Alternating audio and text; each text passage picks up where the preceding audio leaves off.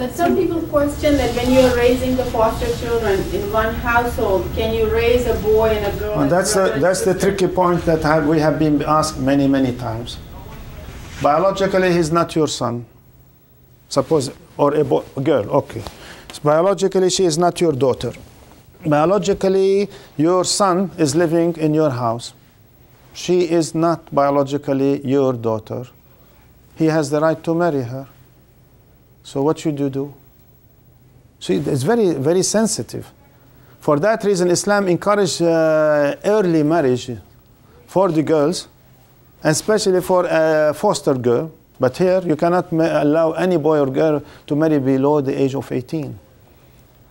We had officiated marriages 16 years old girls, but you have to take her for counseling. We had to counsel her and show her six hours or nine hours, depends from state to state, before marriage.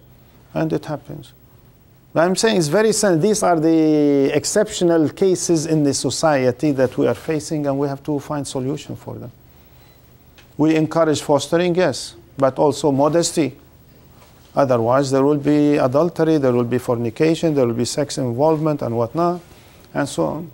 But you know, modesty, even Islam says the dress of a woman with modesty. Even man should not expose his flesh. Although there is limit, but I will never encourage any brother to come with the minimum. He should come and attend with the maximum. You know, with the maximum? Hmm. The maximum is maximum. I mean, cover yourself. Nothing is shown except your face, your beard, your. معلش. So I'm saying because we are sitting in a jama'ah of biologically two entities, and therefore, in as much as we demand from our sister to dress with modesty, we uh, expect the brothers to be the same thing.